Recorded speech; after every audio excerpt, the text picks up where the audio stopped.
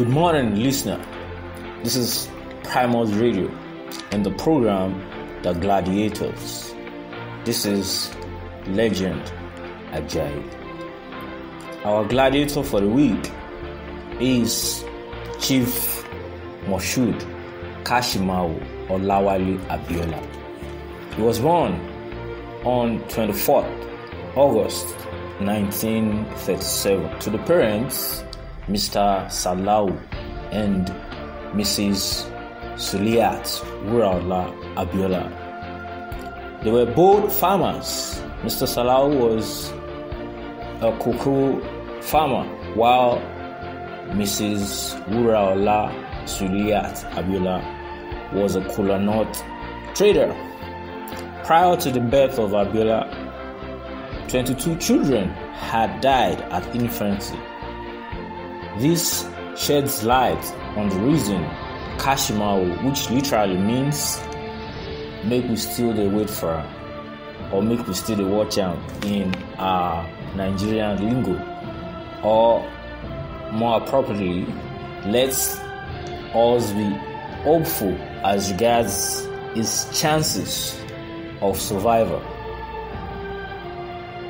As regards his school and education, he attended Baptist Boys High School in Ogun State, and because, as earlier mentioned, was from a humble background, he founded a musical band to perform at parties in order to raise money to support his high school education and family. As it is often said, fortune favors the brave, and well planned industriousness pays. He got a scholarship to study at the University of Glasgow, Scotland, and begged, bagged a degree in accounting.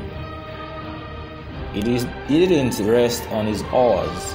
He became a chartered accountant in the Institute of Accountants of Scotland with a distinction.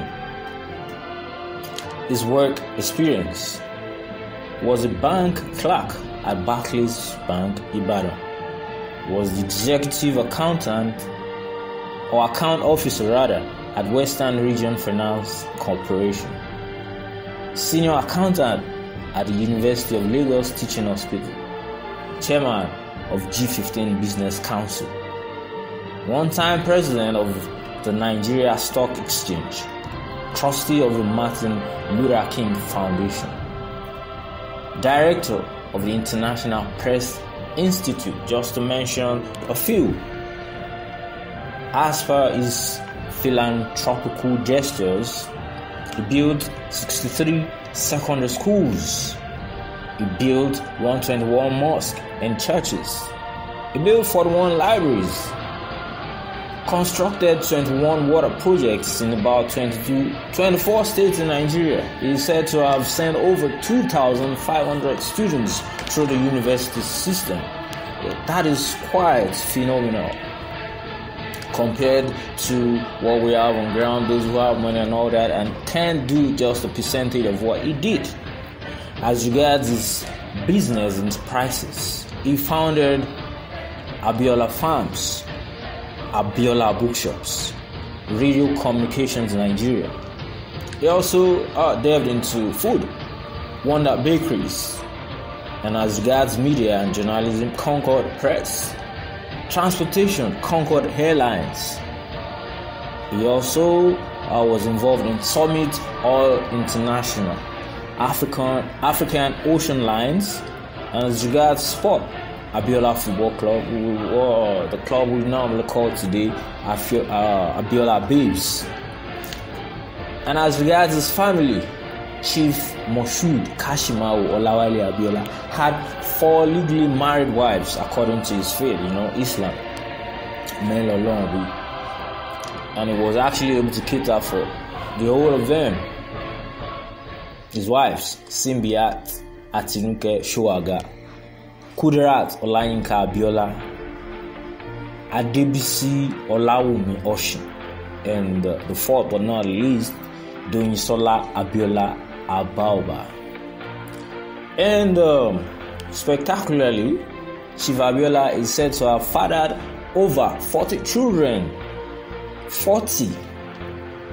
Some of who are Afsat Abiola, Kola Abiola, Dupsi Abiola, Abdulmumini Abiola, Risola Abiola, just to mention a few. He actually, arguably, fulfilled one of God's commands. You know what I'm trying to say? Go ye into the world and multiply. One of his wives, however, Kudirat Abiola, was assassinated in 1996 in the city of Lagos in Nigeria. As regards politics, at age 19, he was a member and a youth leader of NCNC, that is National Council of Nigeria and the Cameroons.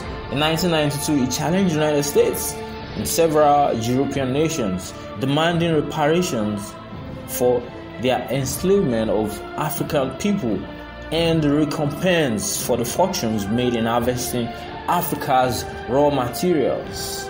We got nothing actually in exchange for so many things the African, the, the, the Europeans, United States, the whites got from African soil. On June 12, 1993, he won as the presidential candidate of SDP, that is Social Democratic Party, against NRC's candidate Bashir Tofa. NRC actually means National Republican Convention. I was still very young then, but I was very much aware of everything that happened. I can still remember the song.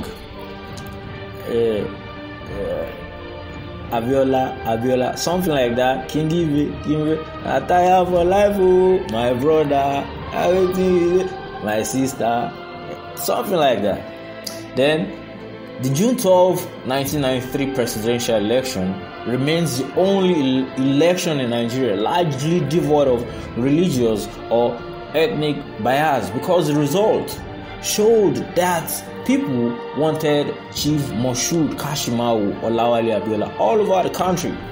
The election has been described as the freest and fairest in Nigeria. However, General Ibrahim Babangida Badamasi, popularly known as Maradona, had an entirely different plan. He annulled the election for no just reason and installed Ina Shonekan as the head of an interim government. General Sani Abacha, through a coup, took over governance, imprisoned Chief Moshood Abiola because he declared himself the winner of the election. He actually won. On June, on July 7, 1998, after Abiola had been imprisoned for four years, he died. We should also remember the fact that his wife was murdered in the city of Lagos, Kudirat Abiola.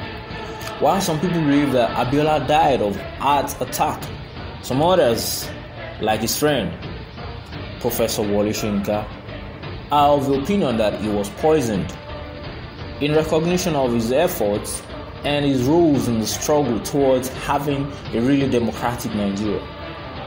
June 12 in 2019 and henceforth was declared as Nigeria's Democracy Day.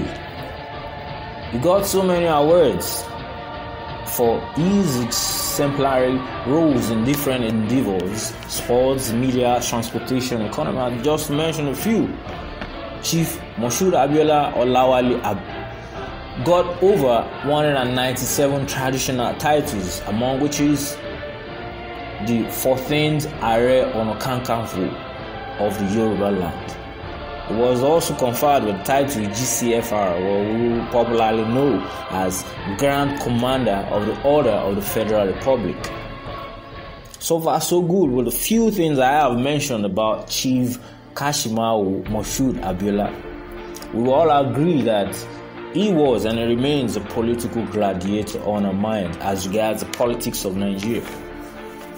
I will end this week's show with one of Chief Moshood Kashimawo Olawale Abiola's quotes.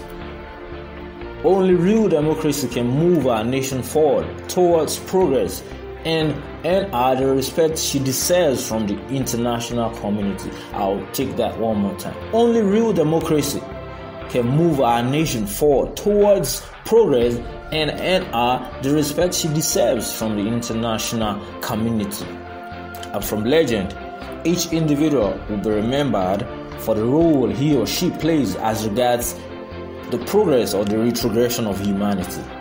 Once more, I am Legend Ajayi for Primus Media. For more information, you can follow us on our social media platforms at Primus City on Facebook and on Instagram. You can also listen to us via this link bit.ly forward slash Primus Radio. Once more, this is Legend. Thanks for listening.